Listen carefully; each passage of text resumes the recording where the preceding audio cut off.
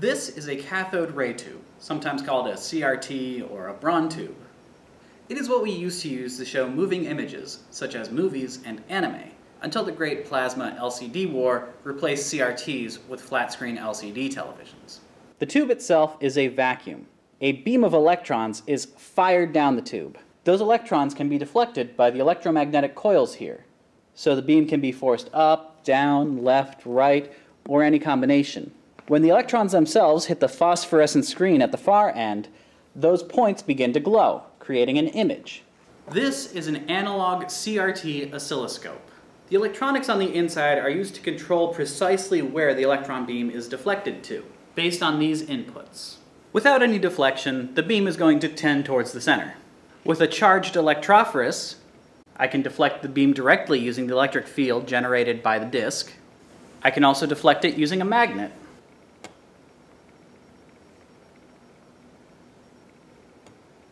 And of course, the direction that it's deflected depends on which pole of the magnet I'm using.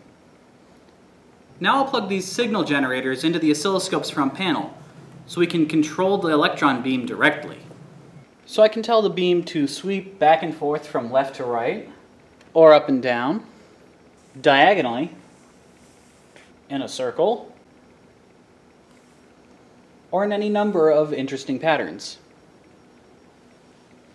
If I have the frequency go fast enough, though, it moves so fast it leaves an afterimage, which forms a two-dimensional picture for us. And if I make the horizontal frequency just a little bit faster than the vertical frequency, that image starts to move.